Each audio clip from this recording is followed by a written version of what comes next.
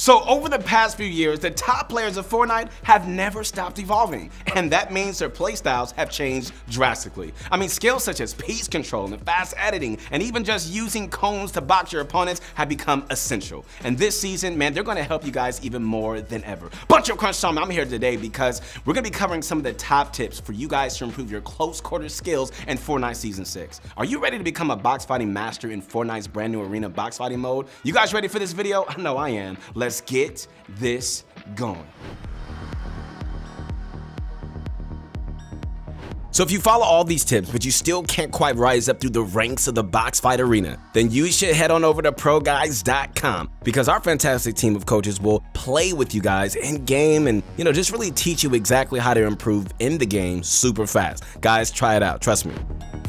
All right, so the first tip that we have for all of you guys today, and to be honest, obviously it's a pretty, you know, cliche tip, but it's just also something that is so overlooked. And to this day, I mean, it's just one of the most important factors contributing to your success in your close quarter combat. All right, so having amazing aim, aim, aim. I'm gonna say it again, aim. That's right. Yo, it's just one of those things which separates the good players from the GOAT Fortnite pros. Like you must train your close aim as frequently and consistently as you can. And so there are many creative maps out there that are designed to keep your aim up to date and sharp. Raider 464's aim duel map is one of the best maps to improve your close quarter aim skills because instead of just fighting random bots that don't shoot back, you practice your aim against a real player in a one by one box fight who has realistic movement and is actually trying to dodge your shots. And alternatively, like you can play the maps like Shride's aim training map or, you know, Skaavok's aim training map. But so the advantage to playing these instead is that, you know, you could do these for 20 minutes as a pre warm up to your arena and competitive games without needing another player to fight against. But, you know, it's just nowhere near as realistic as the aim duel map.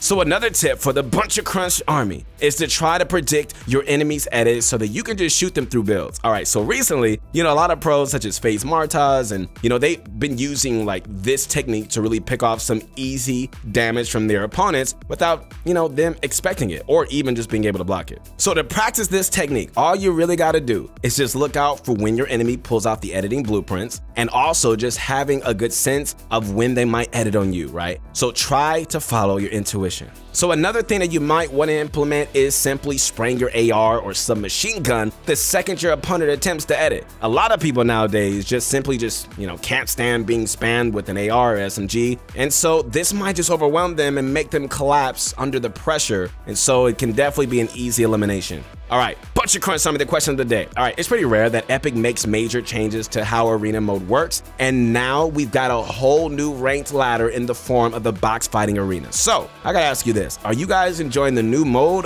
or do you think it should be made better? Let us know in the comments below because we do definitely read every single one. All right, so box fights have been popular ever since Creative was really first introduced to the game back in 2018, and it's really clear to see why. Box fighting trains the most essential game mechanics that you need to be good at the game. Things like piece control and editing and aim. I mean, all so, so important. And you know, as a bonus, you may know that Epic has released the new Arena Box Fight mode, which means this isn't just going to be practice for your close quarters combat, since these fights will now contribute to your Hype points. And so this action-packed game mode will allow you to become comfortable in a compact environment and really make you get used to being in situations where you feel hopeless, solely just having to rely on aim and movement. And so by mastering your box fights, you should not feel panicked when you get piece controlled by your enemy and be able to just find a way to just pressure your opponent back even when you have builds surrounding you. And so all in all guys, like creative and arena box fights will definitely be useful in sharpening your close quarter skills no matter what. And so we 100% recommend playing at at least a few games a day as part of your daily training and playing schedule, and it's definitely gonna help you improve really fast. All right, so a different tip that we got for you today is to utilize ramps during those previously mentioned close range box fights. So over time, players have become more and more rapid at pressuring players in boxes and taking their walls. So having a few tricks up your sleeve to counter these new moves is always handy. So an easy and simple trick to get away from your opponents and avoiding taking damage is to place a ramp while looking downwards so that the ramp just goes above you while also covering your back from enemies line of sight. And so when trained, this trick can be done extra fast, man, and really used in multiple scenarios. You know, reboxing and avoiding enemy piece control is the main reason, but it can even be used for rotates and can be just even more of a material efficient method for tarping. And so you can do this by either placing floors and ramps the same way uh, said before, but you know, while keeping your momentum and running at the same time. And for tarping, you place floors and a wall to your right, and then a ramp placed sideways so that it covers your left side as well as the view from above.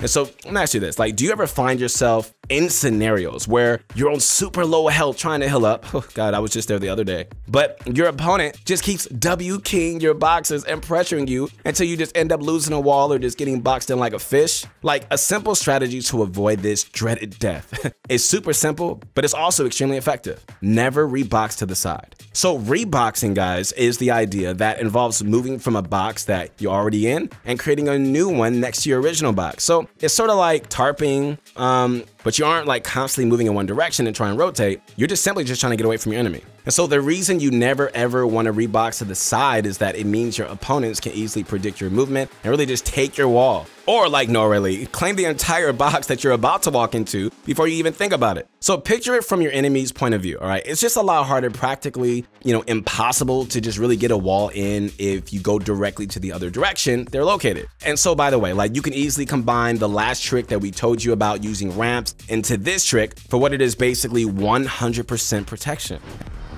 And so a vital mechanic for improving your close quarters combat is movement. Movement. Everybody say movement. Like movement is so important. Being able to keep momentum while moving and just seamlessly control your character in Fortnite is one of the most unvaulted mechanics in the game and is again another super important mechanic for those close range encounters and gunfights. And so when fighting an enemy at close range, you should definitely make use of all the controls you have. And this means jumping up and down and moving left to right to dodge enemy bullets, and also just sprinting to the right and, you know, ahead of your opponents when fighting close range so that you can just throw off your enemy's aim. Because if you get to the close to the right hand side of them, it's a lot harder for them to see your hitbox because of how camera dynamics work in game. And so also being able to move from left to right freely when building, editing, and, you know, and piece controlling is just essential for close range fights. And this is achieved by having good keybinds where you don't have to take your fingers off of WASD. For example, all right, having your edit key on shift instead of something like G is a very good keybind because, you know, it just means that you're able to edit while simultaneously being able to move in any direction you like. Okay, and if you're still confused and you want to know how you can improve your in-game keybinds, okay, we got a video here, and I mean like right here, that can help you improve your keybind efficiency and become a master at keeping momentum in the close quarters gunfights. All right, so here's a quick recap over the tricks which can turn you into a close range combat legend. All right, so make sure you stay frequently practicing your close range aim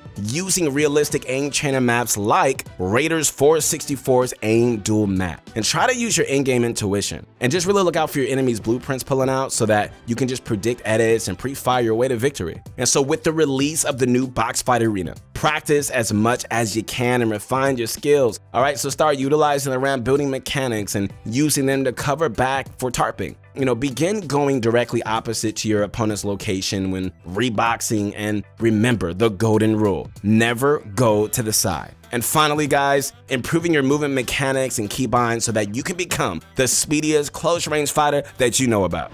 So close range combat has become one of the most important parts of Fortnite this season. I mean, we've got all the close range primal weapons in the main game and, you know, now even a close range box fighting version of Arena. I mean, mastering everything that we talked about today, I mean, it's gonna take time, but if you guys stick with it and you never give up, you keep persevering and you keep managing and qualifying, you keep just grinding, you're gonna take your way to the top. I promise you that. Hey, if you guys liked the video, like the video, subscribe to the channel, and listen, if you want even more motivation, I'm right here. I'm ready for you to connect with me on my Instagram at Your Motivation Guy. I'm so proud of you guys. I'll see you soon. Peace.